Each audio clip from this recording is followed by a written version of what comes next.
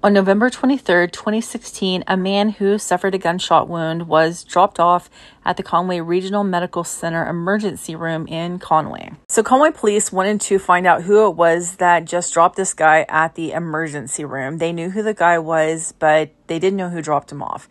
They had identified the man, the gunshot victim, as Gary Phillips, but who dropped him off. So it turned out that the emergency room staff had recorded the license plate of the car that dropped Gary Phillips off at the emergency room. Police were able to take that information. They ran it through ACIC. A vehicle came back and it matched the vehicle that dropped Gary Phillips off at the emergency room. And it turned out the vehicle was registered at Gary Phillips' own home address. So, police took a little trip to Gary Phillips' home, and there they were able to find the vehicle. It was a blue 2004 Kia Sorento. In the vehicle, they found that there was a bullet hole in the driver's seat. It looked like the bullet had traveled from the back seat to the front seat going through the actual seat. And even the threads on the front seat were kind of blown outward to show that that was an exit hole. So it looked like Gary Phillips got shot in his own vehicle, but who drove him to the hospital? By talking to family members, police learned that the person that dropped Gary Phillips off at the hospital was likely Shelby Stivers. And they got a location on Shelby Stivers. So Shelby Stivers was actually in Pulaski County. Shelby Stivers just happened to have an arrest warrant out of Faulkner County. So Shelby was arrested and transported back to Faulkner County where police could actually interview him. Now, when police interviewed Shelby Stivers, Shelby told police that Gary Phillips asked Shelby if Shelby could help him get some K2. And Shelby was like, Yeah, I can. I think I can contact Kaylee Roberts. So they contacted Kaylee Roberts, and Kaylee was like, You can get some from this guy named Little Johnny. Well, Shelby Stivers was like, You know, I think I can trust Little Johnny because we spent time in jail together this is a problem. Like, I don't understand why people do this. They are literally in jail because they committed crimes too. And yeah, maybe in your mind you think, oh, I made a mistake and I'm in jail for making a mistake. So they're probably in the same boat. Don't. You shouldn't. Just don't. Trust people that you don't actually know. Spending time with someone in jail is not actually knowing them. But I digress. So Shelby Stivers was able to get in contact with Little Johnny, and Little Johnny was like, Yeah, I know a guy that can help you get some K2. Come by and pick me up. So Shelby Stivers and Gary Phillips drove to the Stacy Motel in Conway, picked up Johnny Reed, who was living at that hotel with his girlfriend. And then together, the three of them drove to Salem Park Apartments. That's where they were supposed to meet whoever it was that was selling the K2. But the person didn't show up to sell the K2. So little Johnny told Shelby Stivers, like, hey man, let me get your phone. I'll call him. And little Johnny called the supplier from Shelby's phone. And so they decided that they were going to meet somewhere else. So they met in the parking lot of the draft. Now, when they got to the parking lot, the supplier was standing out there. So as soon as they arrived, the supplier got into the back seat of Gary Phillips' car. Now, when he got in the back seat, he got into the rear driver's seat immediately behind the driver. So the supplier asked Gary Phillips, like, do you have the money? And Gary Phillips was like, yes. So he starts to pull the $500 out of his pocket to give the, to this guy. And this guy pulls out a gun, points it at him, and is like, give me all you got so just like that, the situation goes from someone buying K2 to them getting robbed. Now, a, a gunshot goes off pretty fast, and Shelby Stivers gets out of the vehicle and just runs as fast as he can, he says. He said he headed to the woods, and from the woods, he could see a little bit kind of what was going on. So he sees Gary Phillips in his car. He's not really moving, and he saw the other two guys, Little Johnny and the dealer, get out of Gary's car and take off. So Shelby Stivers headed back to Gary Phillips' vehicle. Now, when he got back to the vehicle, he was like, Gary Phillips did not look good at all.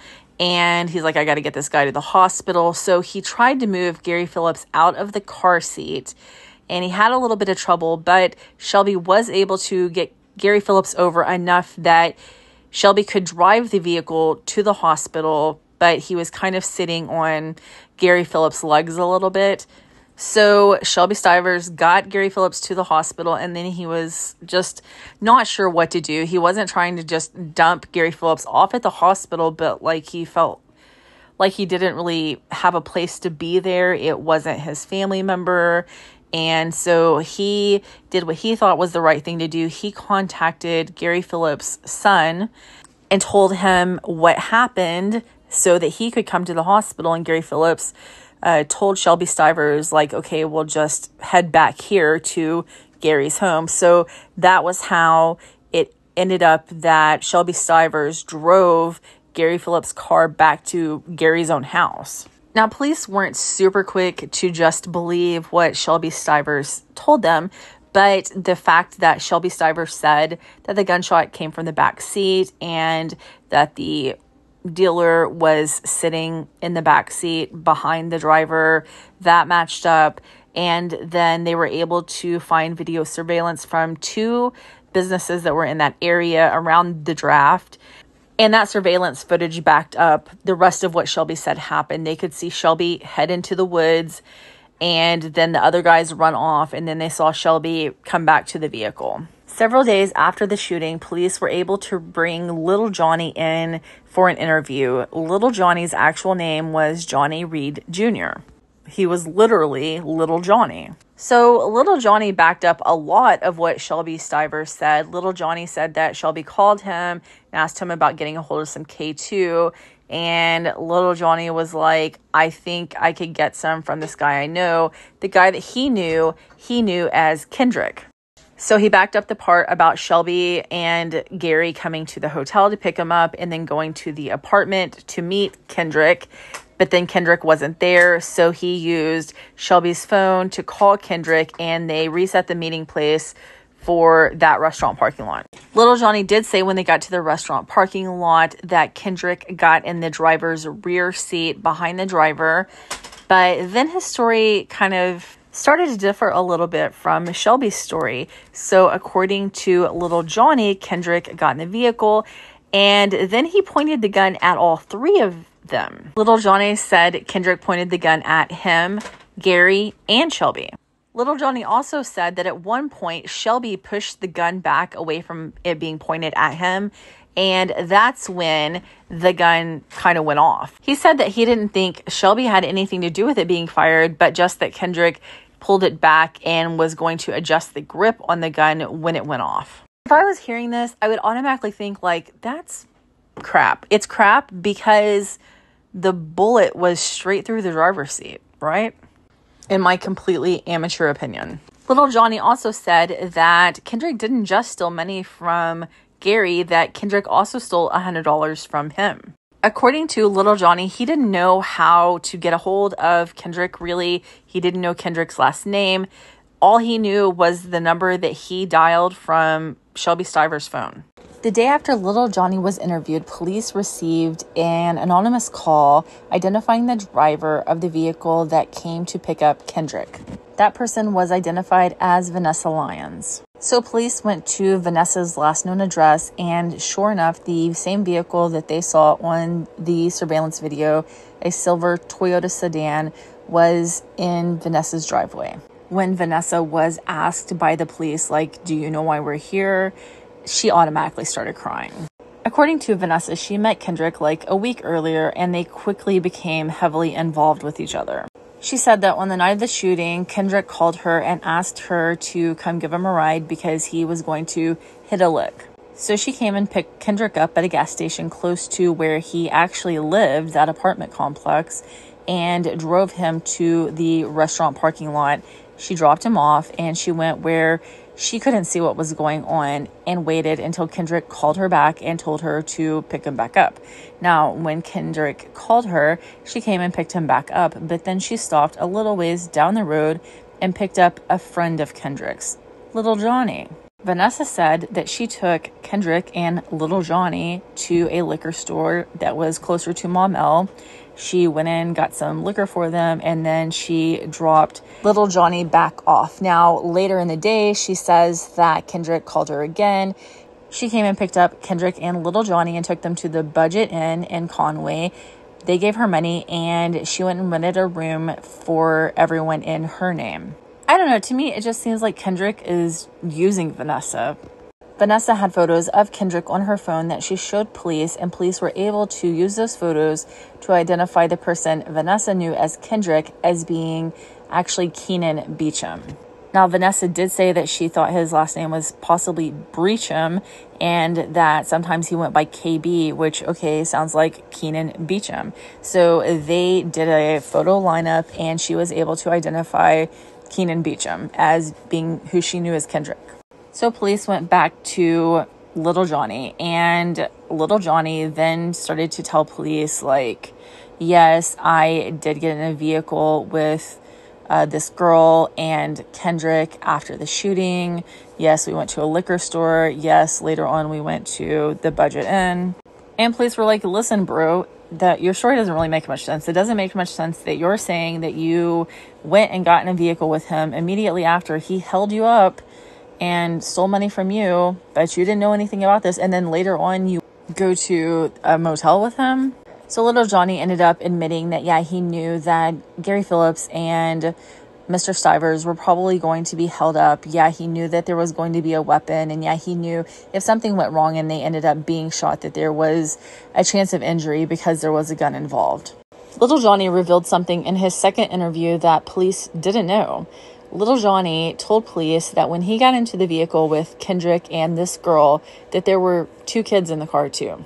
So police went back to Vanessa and asked her about that, and she did admit that when she went to drop off and pick up Kendrick and little Johnny, she had a one year old and a 10 year old with her. So, little Johnny, Johnny Reed Jr., was charged with capital murder in the murder of Gary Phillips. In January of 2018, he accepted a plea deal and pled guilty to manslaughter. He was sentenced to 30 years in the Arkansas Department of Corrections. It looks like right now Johnny Reed will be eligible for parole at the end of 2026. Vanessa Lyons, for her part, was charged with capital murder and endangering the welfare of a minor first degree. In August of 2018, Vanessa Lyons accepted a plea deal. She pled guilty to manslaughter and endangering the welfare of a minor. She was sentenced to 10 years in prison for the manslaughter and two for the endangering the welfare of a minor, plus three years suspended for the endangering the welfare of a minor. Now, Vanessa Lyons has been released from prison. Now, Kendrick, who is actually Keenan Beacham, got in trouble in the Faulkner County Jail. He got in trouble while he was waiting for his charges to go through the court process. So Keenan Beecham got an additional charge for furnishing prohibited articles. The way that this charge happened was that Keenan Beecham was part of a what seemed like a routine search. All of the men were being brought out of their cells and being strip searched. Now, as part of that strip search, he had to do the old squat and cough. And when he did, a phone started to become visible from his rectum. So he was asked to pull the object out of his rectum, and out he pulls a flip phone. But he put it behind his back and he snapped it before giving it to the officers. And all I can think is the poor officers. So Keenan Beecham was charged with capital murder and possession of firearms by a certain person. He was then charged with furnishing prohibited articles. Keenan Beecham accepted a plea deal in 2018 he pled guilty to first degree murder and possession of firearms by a certain person. He was sentenced to 25 years in prison on the murder charge and five for the firearm, but those times are set to run consecutively. He was also sentenced to five years for the flip phone, and that case is set to run consecutively to the murder case. So that is a total of 35 years in prison. He is not set to go out for parole until possibly 2037. Thank you for watching A Case for Arkansas. Please remember to subscribe, like, comment, and share.